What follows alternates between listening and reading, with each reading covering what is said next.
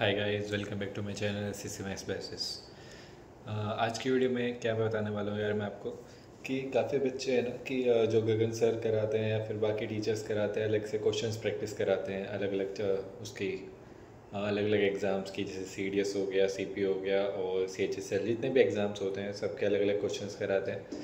तो उसी से रिलेटेड एक चीज़ मैं बताने वाला हूँ कि आ, आ, मतलब बच्चों को लगता है कि अलग अलग एग्ज़ाम्स के क्वेश्चंस करने से उनकी मैथ्स ज़्यादा इम्प्रूव होगी और उन्हें क्वेश्चंस को करने का तरीका उन्हें समझ आएगा। ठीक है? जो भी बच्चे सीजीएल के लिए प्रिपेयर करें उनके लिए मैं एक चीज़ बताऊँगा अभी कि अगर आपको मैथ्स इम्प्रूव करनी है ना, अभी के लिए ये सब बंद करके, ये सब करना मतलब ये नहीं कह रहा मैं इन सबसे आपको कुछ भी नुकसान हो रहा है, ये सब कर लेना। लेकिन सबसे पहले जो आपके लिए फोर मोस्ट चीज़ है, करनी है आपको इम्पोर्टेंट वो क्या है कि आपको जो भी सी के मेंस के मॉक्स हैं सी जी एल मेन्स के मॉक्स दो हज़ार बीस दो हज़ार उन्नीस से लेके अठारह उन्नीस अठारह को भी इंक्लूड कर लो। दो हज़ार अठारह उन्नीस बीस इक्कीस ठीक है? चार साल जो आ, मतलब मीन्स होते थे सौ सौ क्वेश्चन वाले उनको दो बार अटैम्प्ट कर लेना फिर अपनी मैथ्स में आपको डेफिनेटली इंप्रूवमेंट मिल जाएगी ठीक है? छोटी सी बात है लेकिन बहुत ज़्यादा मतलब इम्पोर्टेंट बात है कि वो जिसमें जैसे उसमें सौ क्वेश्चन है 2020 के 2021 के मीन्स मैंने दिए हुए हैं वो दोनों। तो और 2018 वाले 2019 वाले एक तो मई, अठारह नवंबर वाला तो बहुत ईजी आया था तो ये सौ सौ क्वेश्चन के जैसे हैं तो इसमें सात से आठ सेट बन जाएँगे आपके पास, ठीक है? सात से आठ सेट हो गए, सौ सौ क्वेश्चन के प्रैक्टिस कर रहे हो, कितने कितने हो जाएँगे क्वेश्चन मान लो उस मतलब सात से आठ से भी हटा लो, चलो तो हज़ार क्वेश्चन के आसपास आपके बन जाएँगे। अगर अगर वो सारे आप मुक्स आप अटेम्प्ट कर लोगे तो। हज़ार क्वेश्चन के बाहर आप सोचो क्या आएगा मैथ्स में। सारे के सारे सब कुछ कवर हो जाएगा आपको, उसमें अच्छे से रिवाइज हो जाएगा और जितने भी प्रीवियस ईयर क्वेश्चन हैं, उनकी आपकी प्रैक्टिस हो जाएगी। तो अलग अलग आपको देखने की ज़रूरत नहीं पड़ेगी। एसएससी एग्ज़ाम में उन्हीं मेन्स के मुख में से क्वेश्चन डालते हैं, सीधी सी बात बता रहा हूँ मैं आपको।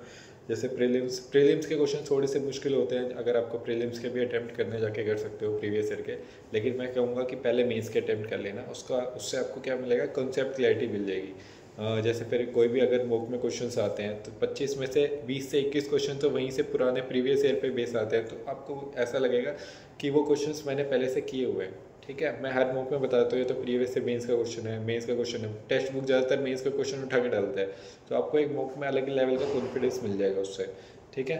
तो बस मेरा मोटिव यही था बताने का कि अगर आपको मैथ्स इंप्रूव करनी है तो अभी क्वेश्चंस अलग से प्रैक्टिस ना करके अलग अलग एग्ज़ाम्स के, आपको क्या करना है? सीधा मेंस के मुक प्रीवियस ईयर के मुक्स दो बार अटैम्प्ट करना है। एक बार अटैम्प्ट करो, फिर दो बार, दूसरी बार क्या करना है आपको? चलो मतलब पहली बार अटैम्प्ट करो तो आपके कम मार्क्स आए उसमें थोड़े से, और स्पीड का इशू पड़ेगा आपको हमेशा। मतलब स्टार्टिंग में डेफिनेटली पढ़ने वाला है स्पीड का इशू सौ क्वेश्चन करना दो घंटे में इतना ईजी टास्क नहीं है हर किसी के लिए।